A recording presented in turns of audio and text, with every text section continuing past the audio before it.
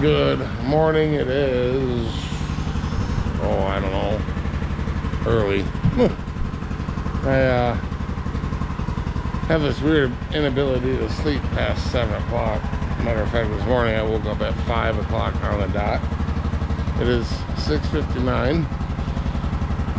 Uh, no one's supposed to be here until about 9 o'clock or so. Yesterday, I ran out of storage on my only SD card I had. Now I have four 124 gig memory cards, so we're good there. Um, at any rate, I got tired. I, I was done yesterday. Once once I couldn't film anymore, and the boys were almost done pouring all the poles, I had had enough, so I gave it up for the day. It was about 1, 1.30 yesterday. I've been sitting down on my butt for the last two years. Uh, I had a something happened to me a couple years ago. That's why I wear the sympathy boot and all that. But we'll, we'll get into that in another video soon, actually. Uh, anyway, uh, this morning I got a little bit of excavator work I got to do, and then once everyone gets here, oh, that's another one. Big deal. My truck, my personal truck. 2013 Chevy Silverado. I got it back finally. It's been in the shop for three months to get a transmission fixed because apparently they couldn't get parts or whatever. I'm just happy she's home. Anyway, all this wood. I had plans to build a small deck because, oh slow moving this morning that ramp right there is about to come out. So is all that brown stamped concrete. That's coming out too. We'll talk about that later. anyway, so we're getting a new porch built. the plan was I was going to do the rough work and then we were going to have someone come in and Trex it like the front porch. But now we're going to let the builder do that because, well, I'm not a carpenter. Here's the fence we got that. We're gonna hang that today on the poles that we hung yesterday. All that's going back to Home Depot. And uh, yeah, so well, I'll show you what we're doing here in a minute.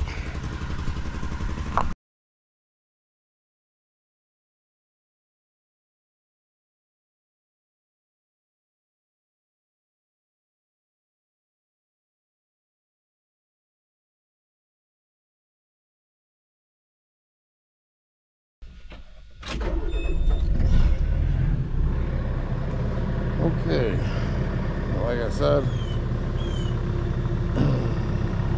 all got concreted in. Then we got a little extra because see that rock way over there? That, that, that was right smack in the middle of the hole. So, got a little extra mud there. That's fine. so anyway, our plan is to put fabric and stone in between each of these poles so I don't have to weed whack ever again. That's the plan. And hopefully it works. I don't see why it shouldn't. But in order to make that happen, I got to clean out in between all these poles. We got just a tool for that. This is a 42 inch ditching bucket.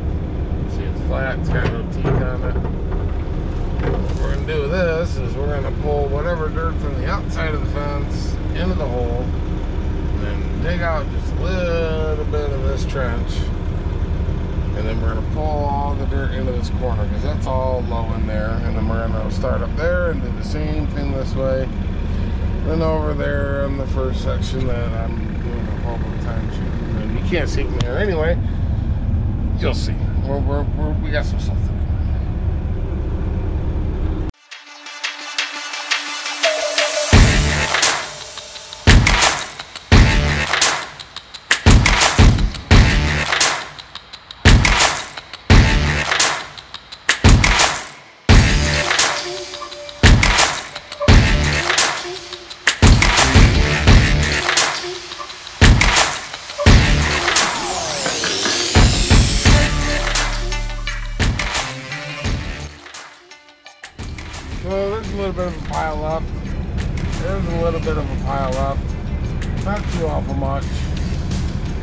But there's so much junk in it.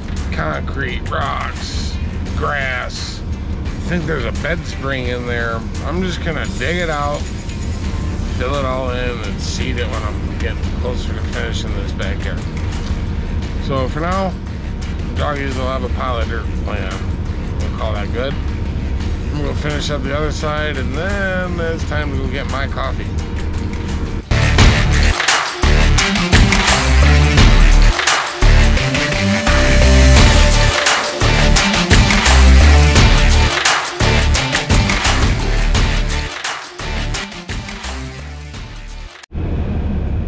Okay, we got that done. This side anyway.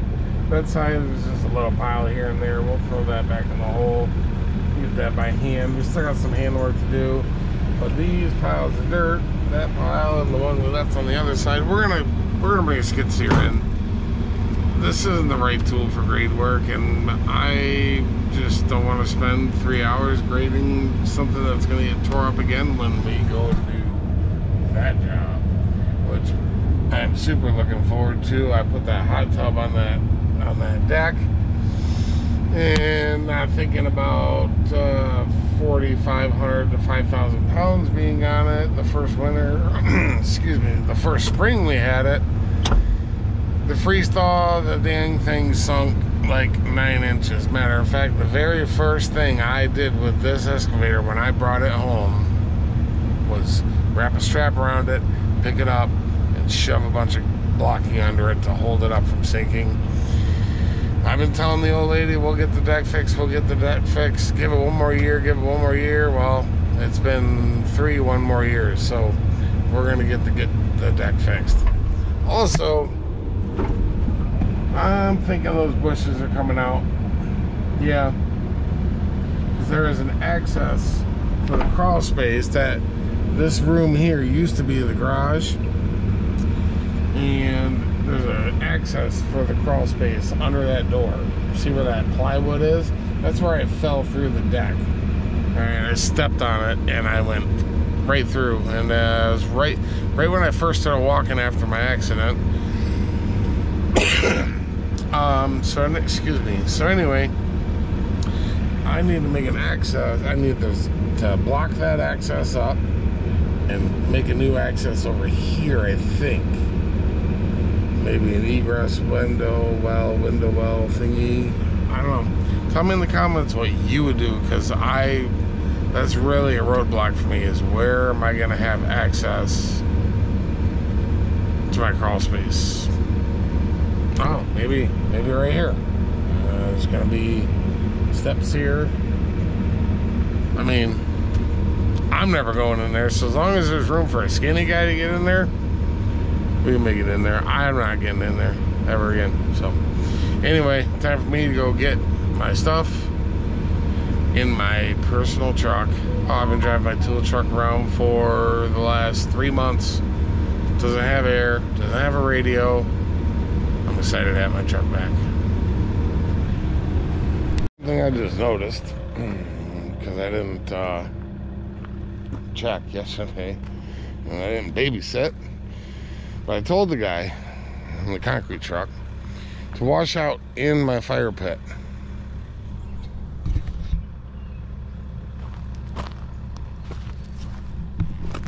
That's in the fire pit. This is next to the fire pit. In the fire pit, next to the fire pit. In the fire pit. really? Oh. Christmas guy got here a little while ago. Or I guess, see the guy and Chris, I don't know who's in charge. It doesn't really matter. They're doing it together. Got all the five and a quarter boards loaded up in the back of the mule. And we're getting them laid out. These them two poles there didn't quite make the eight foot cut, so we got to pick up a 10 footer. We're gonna go to Home Depot, as I said earlier. So, don't even know if it matters. probably cut most of this out, but I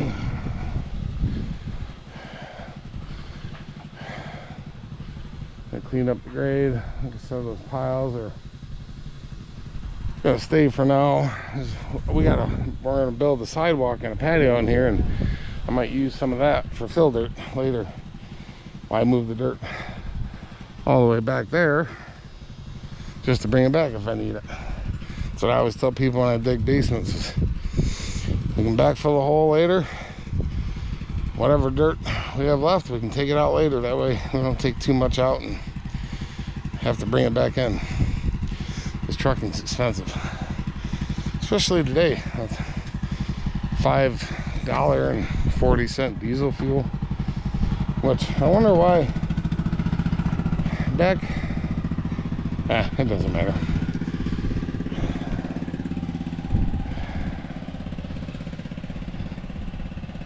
Oh, looks like another 10 footer goes right there. He said there's one per line where they got a little spaced out too far. Uh, mainly because uh, them holes, like I said, the holes were hard to dig because they were full of rock, hard clay, dry hard clay. So, yeah. All right, maybe we'll uh, take you guys to Home Depot and get some the right stuff, including the material we need for this guy to build me a gate. Danny, you want to explain what we're going to do? We'll stretch some wire after we get some bracing up. Yeah. up, stretch, stapled. So in case you're wondering exactly how that's done, I guess you're just gonna have to watch and see. He's not he doesn't like to explain stuff. I'm a doer, not a shower. Yeah, right. He's a grower, not a shower. Exactly. All right. That way when we cut it off, holes won't be in our poles.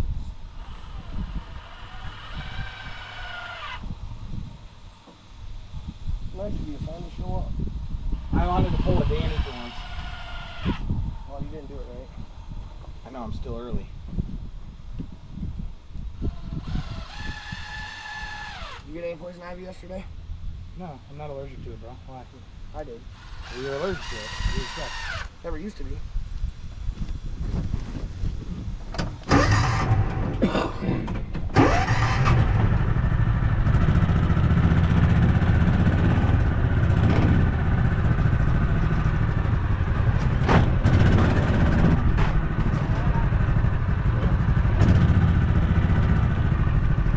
Good thing we're starting over here. Outside of yeah.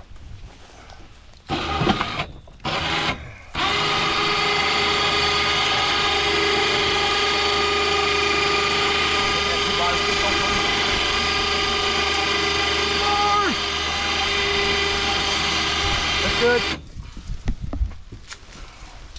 Goes far. Well, that string's 1,250 pound test, right? So I got plenty of power, pulling power on it. Perfect. The winch is 2,500 pounds. If I need But- pliers on the back of that mule. that's Harbor Freight. Fucking bar from the shop. Don't need it. I just to remember this step that I'm about to do. So without the needle, how are you gonna do it? Just come along to that tree or something? When you stretch past your opening, you can keep it tighter to where if we were just have to stretch off of this, you're gonna have a little bit Yeah. less tightness. the because tighter the you better. Staple it. Yeah.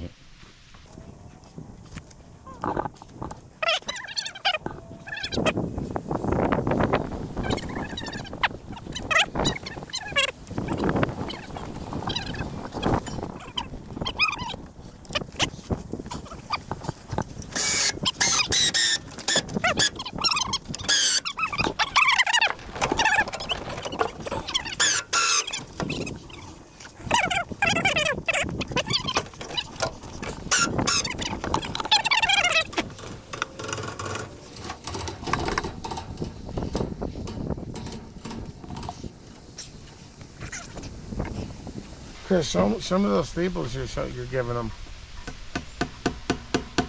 One and a half inch barbed, galvanized. Staples.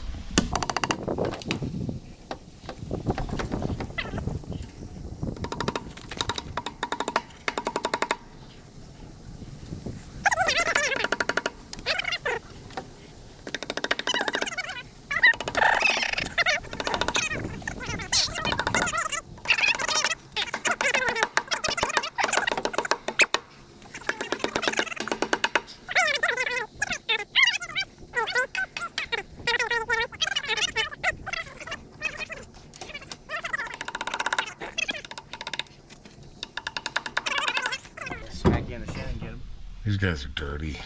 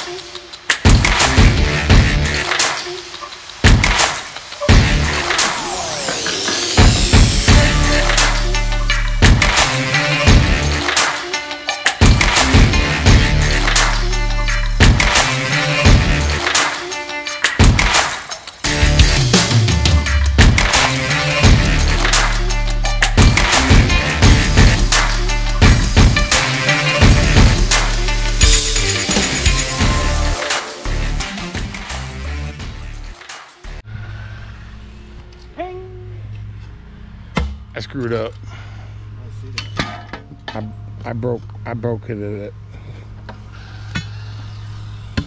So we gotta add another pole, which is fine.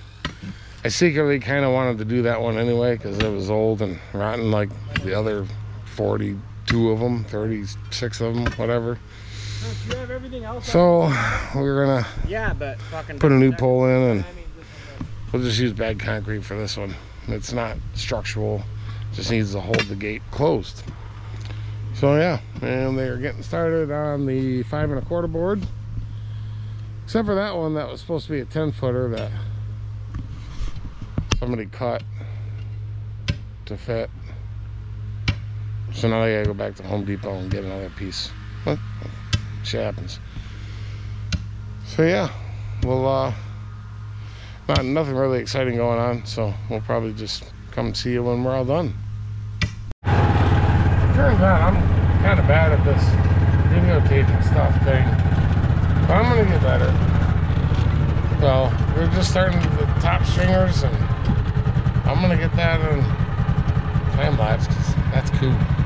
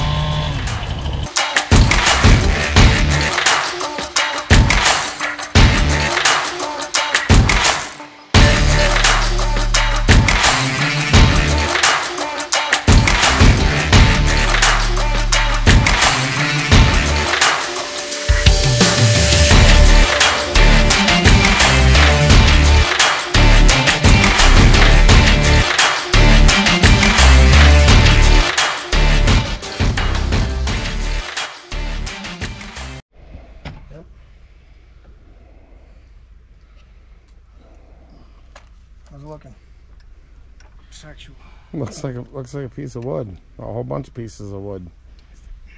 Uh,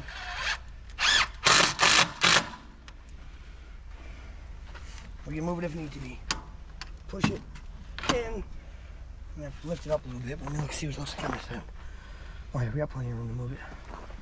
So we'll start by lifting. Till I say when. Take the bottom towards you. Bottom towards that way. Keep going. No, bottom that way. Yeah, there you go. A little more. What about there? Drop it down here, right there. Now, let me pull this one. Do the same thing with the top. But down. Oop, too much. Right there.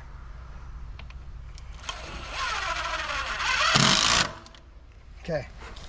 That should be enough to hold it. Now let's make sure it's going to swing. Well, other than It swings enough, but we're gonna put sidewalk there eventually. It swings enough for now. Then I'll put your latch right here. Perfect. that looks very nice.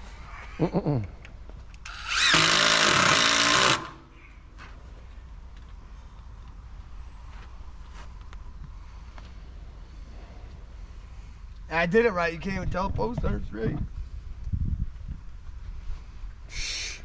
I did good work. This post moved in the after the concrete was put in. It's crazy. It's like Not enough to mess with me though. somebody said, uh, don't don't dig that out till it's post are set. I didn't touch it till this morning. Doesn't matter. Okay, we'll move that post every time. Look at that. All right, I gotta switch bits. To number two. You want me to give that to you now, or I mean I can put it away? I mean, I can't. I mean,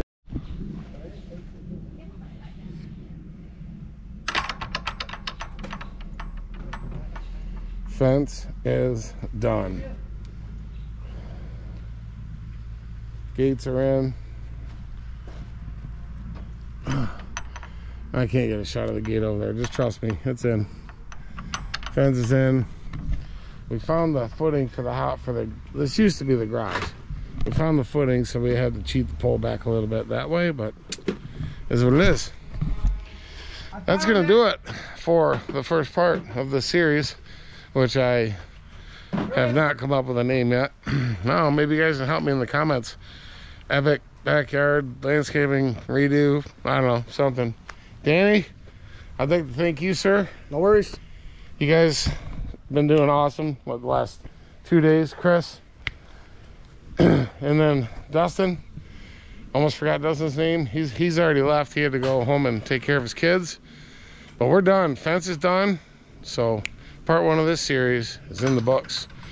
Click the like, subscribe button, share it with your friends. That's the best way to support. Share, share, share. Even if you didn't like the video, just share it. Someone you know might like it. Please. Thank you. See ya. Love you. Bye.